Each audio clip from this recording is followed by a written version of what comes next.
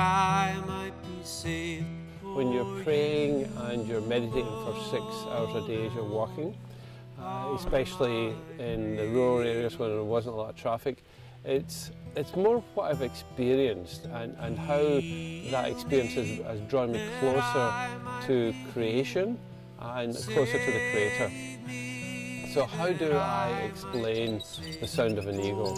How do I explain the, the bark of a sea lion? How do I explain moving suddenly and walking along the, the, the ocean side and hearing for the first time in a long time the waves of the, the ocean um, uh, splashing on the shore? How do I, I, explain to you what I hear when the wind rustles through the trees and it's like the trees are singing as they're rubbing against one another?